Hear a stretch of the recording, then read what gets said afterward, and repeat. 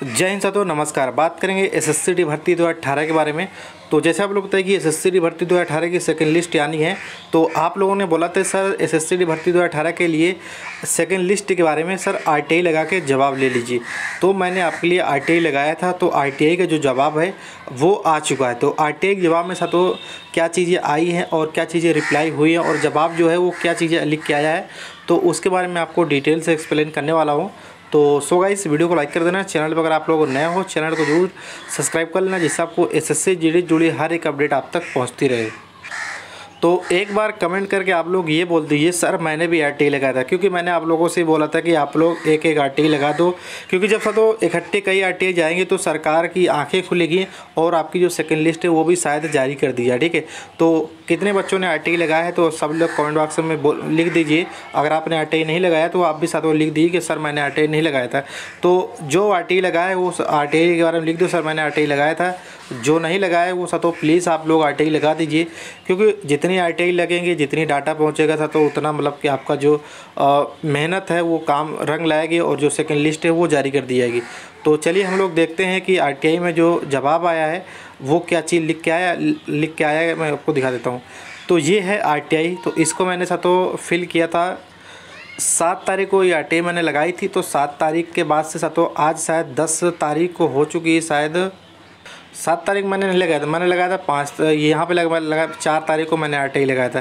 क्योंकि इसका जो अपडेट आया है, नया अपडेट, वो सात तारीख को आया है। लेकिन मैंने ये आर के जो स्टेटस है, आज मैंने ओपन करके देखा था, ठीक है?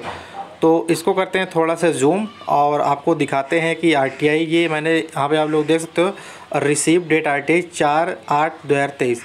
तो पब्लिक अथॉरिटी जो है, असम राइफ़ल जो होती है मतलब कि आप लोग पता है कि इसमें असम राइफ़ल की पोस्टें हैं। तो मैंने असम राइफ़ल भी यहाँ पे लगाई थी। तो इसका जो स्टेटस है, वो आप लोग खुद ही देख लो अपने आँखों से। इसमें लिखा है कि request physically transfer to other public authority ठीक है? मतलब कि मैंने असम राइफ़ल को लगाई थी तो ये सब तो फिजिकली जो है, दूसरे डिपार्टमेंट को ये मतलब कि ट्रांसफ़र कर दी गई।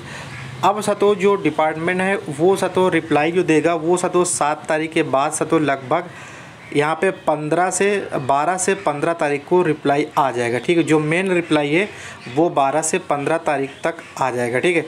तो अब सर तो हमारी जो आरटीआई है, वो रिफ़र हो चुकी है। दूसरे अथॉरिटी को पब्लिक अथॉरिटी को रिफ़र हो चुकी है।